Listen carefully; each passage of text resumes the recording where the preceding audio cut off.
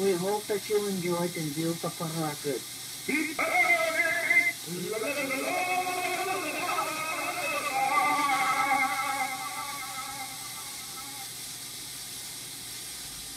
At the sound of the beep, please turn the record over.